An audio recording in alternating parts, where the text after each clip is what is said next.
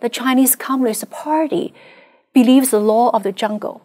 The might make it right. It has never changed. So don't expect a economic engagement somehow going to change them. No, they have a very singular goals. They want to make a, this Sino-centric world order replace the liberal world order we have. So everybody will abide to the Chinese, you know, authoritarian rule. And we have to recognize that, knowing, be realistic, knowing we can never change that.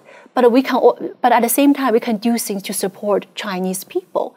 We don't really understand what we have here in the United States until somebody from outside comes here and says, you don't want to do what happened in the last place. Helen Raleigh's been a, a, good friend for a long time. She has now written more books than I've ever read, but that's only four, but still, her latest, Backlash. Thank you for joining us. Thank you for having me. All right. Um, you grew up in China. Mm-hmm. You got out in late in the late uh, 90s. Be- before we dive into this, you once told me you see this country turning into China, or you, there's a lesson there that we're not seeing. What is that lesson? It's the growing ro- uh, romanticization of uh, socialism. It really bothers me that uh, socialism has failed China. It kills millions of people in China, including some of my families. It happened only a few decades ago. Yet I've seen that more and more embracement here in the United States about socialism the rising tide of socialism is really troubling. I don't know why Americans want to give up free market and freedom to embrace a totalitarian regime. And if somebody looks at you and goes, Helen, come on, those are communists. We are lovable democratic socialists. We're not communists. You are confusing the two. Democratic socialism is an oxymoron. It's a bait and switch scam. It's like putting lipstick on a pig it's still a pig. And you think that democratic socialism is as authoritarian as as China and the former Soviet Union? There is no gentler or better version of socialism. Democratic socialism, a good example is Venezuela. You know, they democratically elected dictator, and now on average the population lost about 20 pounds because there's food shortage. Guess what? There were food shortages in China. I grew up with food shortage. There were food shortages in Soviet Union. There were food shortages in Cuba. Socialism, no matter where it was practiced, where it was implemented, it always ends up in the same equally distributed misery. I heard one person say, democratic socialism is communism with a happier face. Um, I like that one too. All right, let's talk about, uh, if I can ask you about COVID. Yes. Because it was about a year ago we were hearing the news about China and COVID. Um, and I said, I thought that out of all this, China could be the winner in the COVID, post COVID world. Why? They, they're the ones who unleashed it. They're the ones who have the totalitarian government, so that mm-hmm. people are compliant. You stay home, we beat it. And even if it kills millions of people in China, which it might have, mm-hmm. because we can't trust the numbers, right. they got they've got a billion point three people, and and the government doesn't care about human life, right. and they win immunity earlier, mm-hmm. and they spread it around, and they've locked down their economic competitors, including the United States. You know, so uh, we're we're not working. So it seems to me that China might win, and what I mean by win, they might benefit when all said and done from COVID. You think I'm right? Well, I kind of disagree with you. On the surface, it seems like China is the winner. It seems like the uh, COVID is under control in China. Like you said, we don't know the true right. information. Even if China had COVID under control, but I think China is one of the biggest loser of the COVID uh, pandemic for several reasons. Number one is this COVID pandemic has become a wake-up call for a lot of people and a lot of governments. If you look at the Pew Research uh, public opinions, China's um, public image, public opinion of China has dropped to historical low. The majority of people around the world blame the Chinese government and the Chinese Communist Party for being responsible for the spread of the pandemic. Are you saying, I mean, those of us who kind of follow this, we know China lies. We know they never tell the truth to the international community. They never tell the truth to their own people. Right. I found it fascinating that their numbers are so undependable as far as their oil storage. that they, we don't know how much oil they have, that people in the business actually pay for satellite time to look down at their oil tanks and judge by the shadows what, what their oil is. So that is more accurate than the numbers that they come out with. And so you're saying COVID might bring that message to other people and other governments around the world. Hey, you can't trust these people. You can't trust this government, not the people.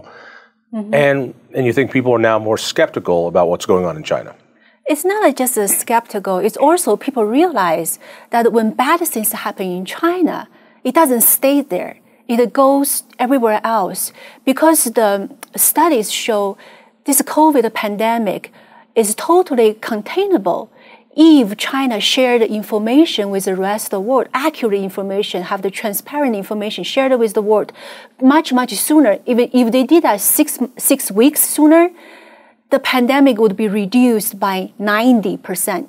90%. I heard that they learned their lesson from SARS, where they lied and lied and lied and lied. And this time around, they were much more open about uh, sharing with the world the health problem that they unleashed. No, they were forced to share the information. It was the Wall Street Journal first broke out about this mysterious pneumonia in China.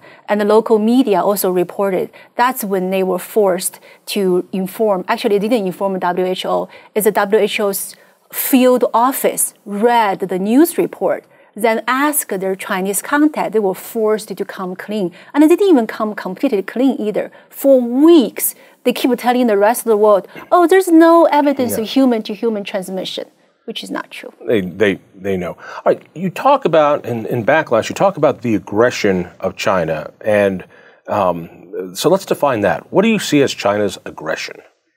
I see uh, aggression both domestically and internationally. Domestically, it represents China's aggression represented by its uh, suppression of its people. The people, including the Uyghur Muslims, the internment of millions of Uyghur Muslims, the forced labor of Uyghur Muslims, and its crash of dissent Excuse me, I'm, I'm sorry. I thought Donald Trump was the only person mean to Muslims. Donald Trump was not mean to the Muslims. Donald Trump actually signed the Uyghur Muslim Human Rights Act. Donald Trump uh, uh, is also, I, I think the, uh, the U.S. Congress is also considered another act to protect the Uyghur forced laborers. Well, I don't hear about this. I anyway, keep going. So, so domestically, the, Chi- the Chinese Communist Party suppressed dissent, suppressed Chinese people. They also built this enormous high-tech surveillance state. So keep an eye on 1.4 billion people's movement, and even their thoughts and their ideas, expressions. And that now has expanded outside its borders. So the aggression expanded outside the borders in South China Sea. You see the crackdown on Hong Kong and the military threat in Taiwan, as well as, you know, um, put other countries in, in, into huge debt to China through their Belt and Road infrastructure project. Can I ask you about Hong Kong? And that in the United States, when the handoff was happening, uh, I'm trying to remember if it was in the 80s, and there was a guarantee of 50 years of one country, two systems. Um, and we wondered why the UK didn't try to keep its territory so those people on that island could be free. And quite simply, they didn't have the money. They they they wouldn't they wouldn't stand up for it. But the idea was at least we have half a century. That's a long time where guaranteed rights, free speech, free press, people can dissent, people can own property, they can do these things. And now all that seems to be crumbling, absolutely crumbling. Um, that, for me, is aggression. That is, they are they are throwing away what they've agreed to, and they were going to get control anyway. So they're just speeding it up with throwing some people in jail. What's wrong? They had no interest to keep that their end of the bargain, the promise they made to, from the beginning. And I have a chapter here in my book about Hong Kong. I give a lot of background information why United Kingdom uh, signed the agreement and, and what happened since the handover and the, and, and the agreement signed uh, in the handover in 1997. So it's truly tragic what's happening in Hong Kong right now. Hong Kong used to be on top of the freedom index. It's one of the freest place on this whole planet. It had, it, it's the shining example of what the magic the free market can do. It was the easiest place Yes. in the world to start a business and have Low equal tax. protection of the laws with the least amount of regulation, Mm-hmm. which is why it exploded and turned into that economic power. Where is it now?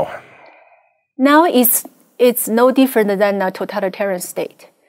Like today, you know, we all heard the sad news that the three young uh, Hong Kong activists, student leaders, they were sentenced to various, uh, you know, um, prison uh, prison sentence. They received a prison sentence today for leading protests last year.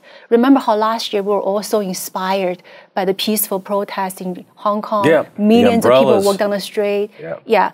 And now there were these three young leaders are held responsible. I remember, I remember these hopeful moments. Tiananmen, before Tiananmen Square, another hopeful movement of, of people in China rising up and demanding human basic rights, um, uh, and then it getting squashed. And Hong Kong, where we saw these people demanding their autonomy, and it got squashed. And with all these examples, I get an attitude from from my distance of China going, "What are you going to do about it?" What we are now an economic powerhouse, second to the United States. Mm-hmm. We don't care about human life. We we will sacrifice as many, and we've got as many. What are you going to do about it? That's that's the attitude I, I sense as the official Chinese attitude. How off am I? I, I actually think you're right. That's her attitude. But I think that attitude used to, uh, for many governments, they used to just suck it up to that attitude because they want a, a share of China's economic growth. But since COVID 19, we see there are more and more governments, especially our US allies, has taken a stand and pushing back. For example, in Australia, um, in April, Australia proposed, it basically led over 100 countries to demand that the WHO do an investigation on how the coronavirus was originated and you know how, is, how it was spreaded. And for that courageous act, they were uh, Australia is being punished by China right now through economic means. Yet the more China is bullying Australia, the more the rest of the world are waking up to what kind of bully this economic power is, the more they are rallying behind the Trump administration. I know you don't hear this from the mainstream media, but it's actually true. Trump administration is not doing this alone. They're they are leading a confrontational policies to China, and because they're waiting to take the lead. Now you see all other countries, United Kingdom, Australia, New Zealand, our allies starting to also react and join behind. So there is a united front is being building to push back on China's aggression. That sounds optimistic, but as a kid who was raised during the Cold War, you know, looking back at it, I saw the Soviet Union, looking back, they were economically in ruins. Mm-hmm. And it was Ronald Reagan who decided to push them over the edge. Say, really? Co- try to keep up with us on, on our military spending, try to keep up with us, and it'll push you over the edge. I don't see that with China because they mm-hmm. are a manufacturing powerhouse.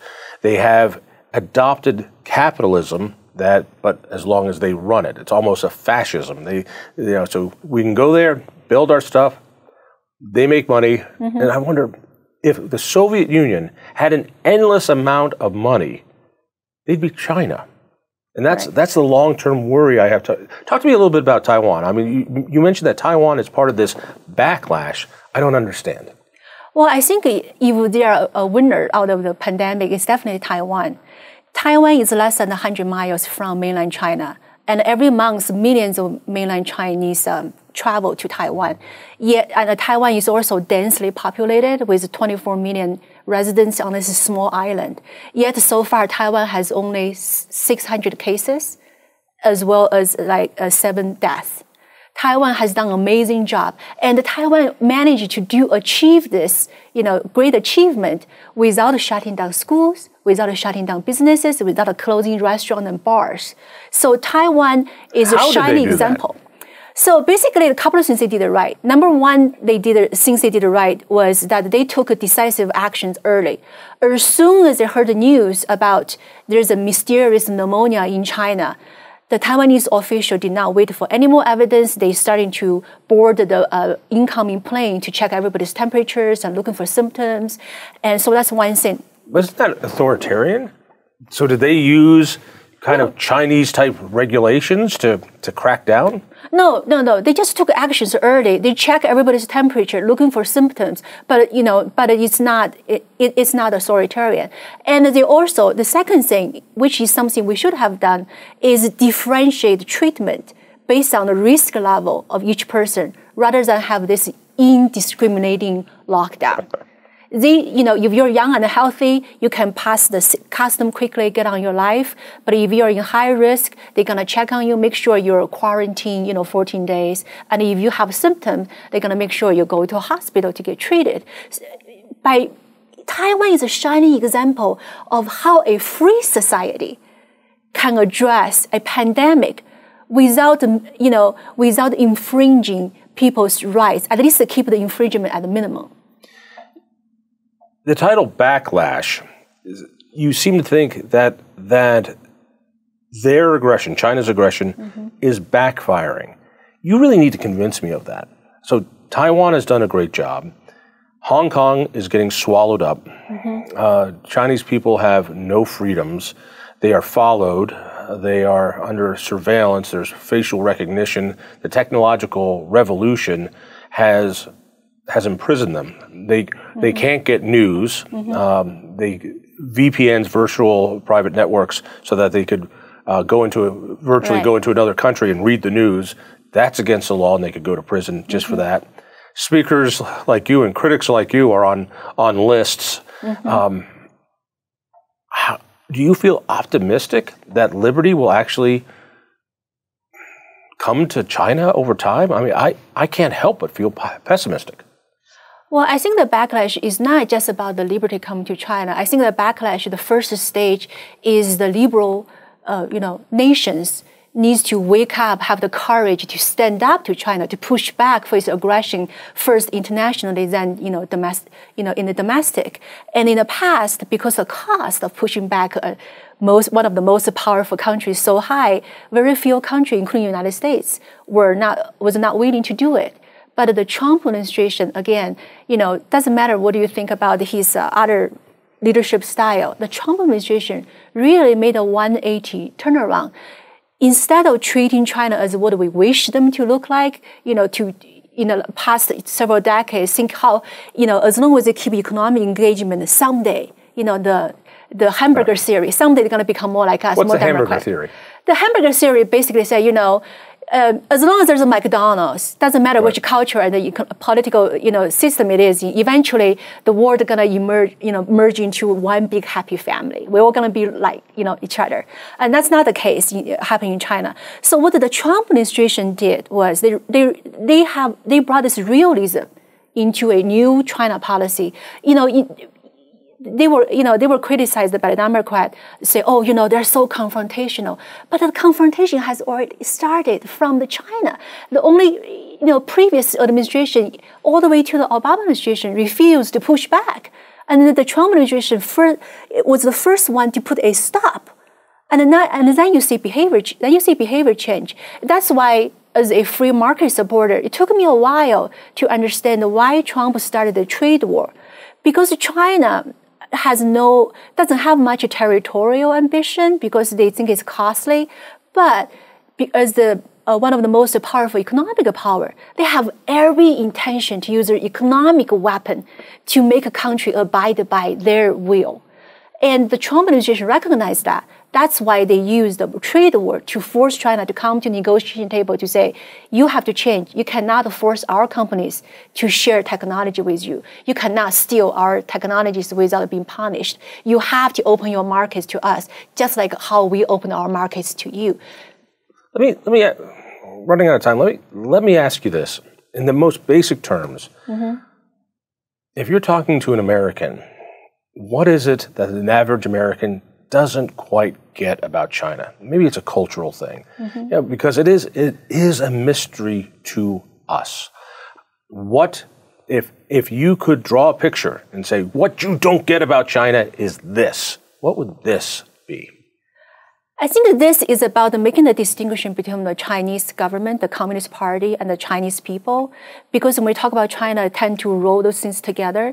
We need to recognize that, you know, many Americans, you know, naturally and have this warm feelings towards, towards Chinese people, which is great. You know, I love that as, as a person. I feel very well welcomed there. but at the same time, we need to recognize the Chinese Communist Party believes the law of the jungle the might make it right. It has never changed. So don't expect uh, economic engagement somehow going to change them. No, they have a very singular goals. They want to make a, this Sino-centric world order replace the liberal world order we have. So everybody will abide to the Chinese, you know, authoritarian rule. And we have to recognize that, knowing, be realistic, knowing we can never change that but we can, but at the same time, we can do things to support Chinese people who, just like all the people around the world, have every right to freedom, freedom of expression, free, the free exchange of ideas, and the, and the liberty and the dignity to live a life that they want.